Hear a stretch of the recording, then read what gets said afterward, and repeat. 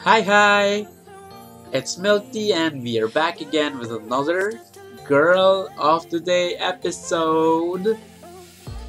And today, as suggested by one of the, my Discord friends, um, we are gonna be talking about the limited stage girl Mirai Mahiru Tsuyuzaki.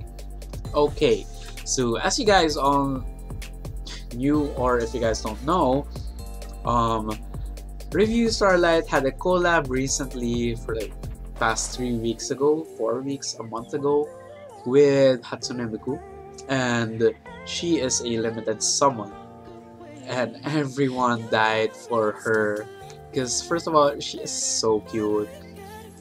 I mean look at the art. It's so pretty. There was even super nice music in it and look at her diamond mic that is so cute I swear to god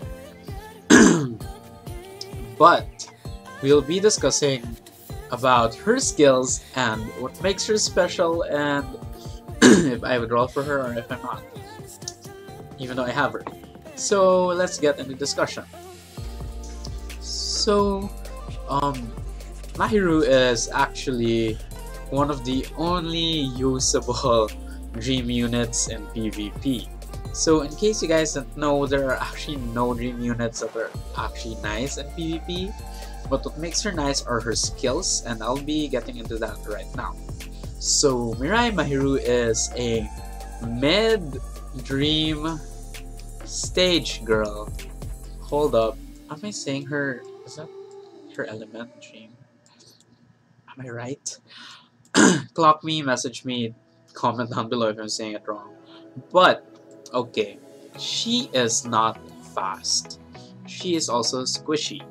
So, that said, that only shows that she is not really that top tier in PvP if I were to um, say she's not really up in the list like other characters but what makes her very nice is her skills and which I'll get into right now which I've been saying so she has Ballad which is 2 AP which can sleep three stage girls in front.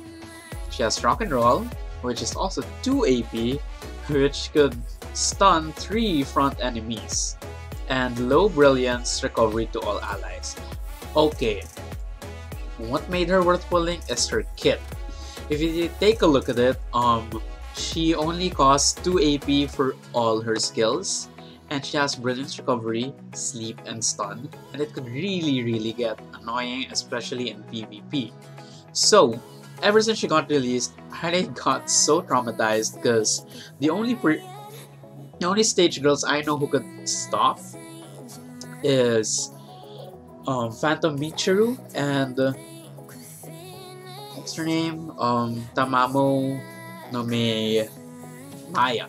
So the problem with this is she is really uh she's good she could like keep stunning you sleeping you and it really gets annoying and frustrating at times i sometimes get traumatized fighting her but her kit is something to look out for it's not really for regular stage girls out there she even has better kits than most of the four stars but what made her a little lower is besides her low speed is her climax act. First of all, her climax act could stop all of you and it's really bad if you don't stop her. But the twist about it is since it's so strong, it is 3 AP. And the fact that it's 3 APS, there could be a cleaver, a stunner, a sleeper, or a debuffer or someone who could cancel Mahiru's ult and kill her in an instant once she uses her climax act. So most of the climax acts are 2 AP and if you have Snow White you can do it for 1 AP. So the problem with uh, Mirai is she has 2 AP which and she's slow. I mean she has 3 AP and she's slow meaning that she will obviously obviously be the second one using her climax act when you're fighting in PvP. But if you strategize it properly and learn where to position her climax act, it could really be very deadly. There are times where there are people who just go all out and go climax act, climax act, climax act, but when after the first climax act and Mirai goes next, she's gonna stop all of it. The two remaining climax acts and the combo are gonna be wrecked because there's a high chance that you will be stopped. That's why when people fight Mirai Mahiru, some people bring um, counter heal like Hifumi, Sailor Shizuha, just to make sure that they could live for the first turn, and they don't even use a turn at all. Sometimes you just use Brilliance Recovery right after because they know for sure that their whole team could possibly stop for one whole round, and that's bad. Um, so her unit skill is a back row unit skill that we're in. Two or more Stage Girls of the back position are in unit. Own act power up critical up. So basically if there are two backstage girls she raises up her damage. And her other skills which I haven't unlocked yet actually are actually pretty neat I guess. But she does a lot of damage. So she has passive dexterity passive passive damage received like the 15 which is a lot. Um, she has exit evasion. Exit evasion is once your HP strikes 1 HP you recover a certain amount of health bringing you back to you know almost like half health three-fourths health I'm not sure. But the bad thing about this is there are cleansers out there in PvP which could remove your exit evasion. So um what makes her nice is her kit and her versatility and usability and PvP. I sometimes underestimate her, but she's actually pretty much a threat in PvP once you fight her and you don't get to kill her at once. Yes, she is squishy, yes, you can cleanse, but when she procs that Climax Act, Sleep, and Stun, you are over. I've I've lost, actually, a lot of times against Mirai Mahiru, but I barely see them now because in the upper PvPs, they just don't include her in their team. So, with that said, is she worth your gems if ever she will come back in the future? I'd say yes. She is good PvP.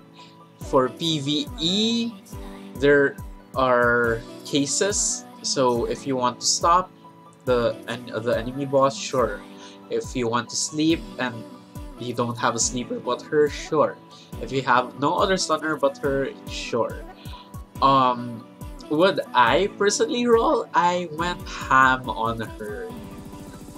I spent 30 something, 30,000 something gems on her just trying to get her because she's limited and I know that she's never coming back and I might feel the same for Bang Dream. But for Bang Dream, I'll be careful because I might only save my gems for one unit, which is the Bang Dream collab Aruru, because she's crazy. So, um, anyways, um, is she useful all around? Yes, I'd say yes. She's adorable, she's lovely, I love how she looks like. She is fun, her climax ult is fun. Uh, I really wish you guys um, played her during the event because the song was so hyped. but yeah, that's it from Milk Tea, and I hope you guys enjoyed this session of Girl of the Day. See you guys next time. Bye!